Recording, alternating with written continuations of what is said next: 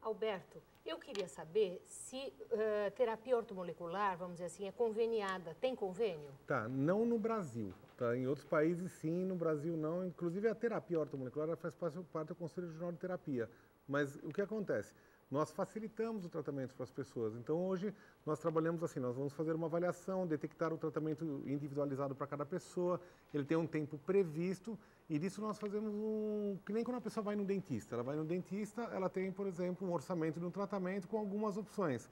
Então, nós facilitamos o tratamento para o paciente para que ele consiga fazer de uma forma simples, que para o bolso dele fique, fique tranquilo, até para ele não se estressar durante o tratamento, até porque hoje os produtos já tem no Brasil, são os óleos elementos, ele baixou o custo. As reposições nossas hoje são feitas pela DERME, dos nutrientes, que são registrados pelos Ministérios da Saúde e da, Saúde, e da Anvisa também.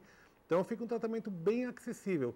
E o pessoal pode aproveitar agora que sempre nos finais do ano nós temos pacotes promocionais de verão para que a pessoa entre renovada no ano novo, né? Entre nova no ano novo. Entre nova é. no ano novo. É. Muito legal. Fala rapidamente do seu site. É www.santineortomolecular, tudo junto.com.br.